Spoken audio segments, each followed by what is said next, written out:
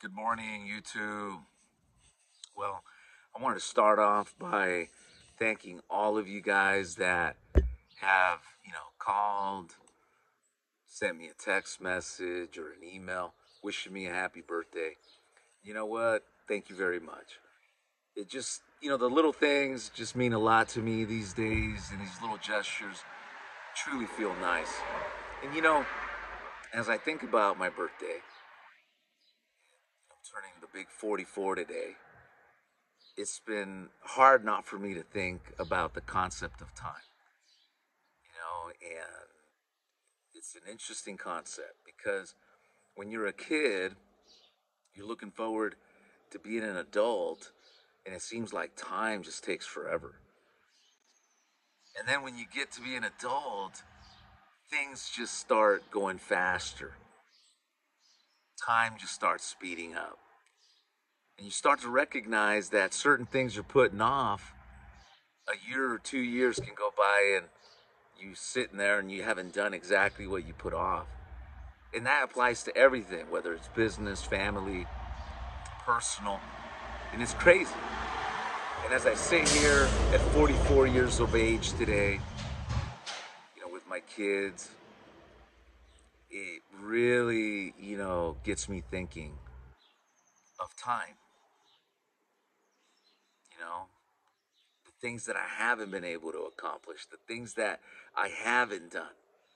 And it also, you know, helps me view, you know, exactly what I haven't done. And you know what, guys? Time is something that's scarce, and that's our most valuable you know, asset that we have is our time. And unfortunately, sometimes we're going through this life, you know, putting things off for tomorrow, and then tomorrow never comes. Nobody has a lease on life. Think about that. So we lose out on the time, and then we lose out on the opportunity that the time presented to us in that moment. Crazy. And for me at 44 years old, you know, I'm really, really thinking of that concept of time. I've been selling insurance 18 years. I love it. It's my passion. And, you know, started as a field guy. And for over a decade now, we've been, you know, perfecting this concept we call telephone sales and virtual sales. But we still have time.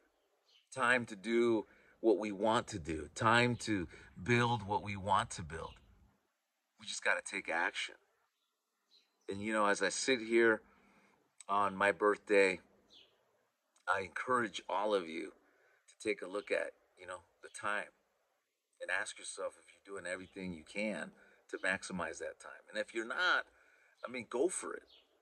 Either whether you're writing it down, if you don't have the answer, ask someone that might have the answer or has the answer either way, it's up to us to make it happen. So, you know, I hope you guys are having a great week. I definitely am. You know, for me and my group, you know, we're, you know, working our goals, working on, you know, our mission. But more than anything, now I'm looking at our future in a different light. You know, things that maybe were holding me back before, they're not going to be there no more now we're going to go for it. Because, again, we don't have a lease on life. I can be gone tomorrow, I can be gone next year, or I can be gone in 20, 30 years from now. Either way, today we're going to take advantage of it. And we're going to make sure that we're maximizing our efforts. So, with that said, from an old man to you, peace.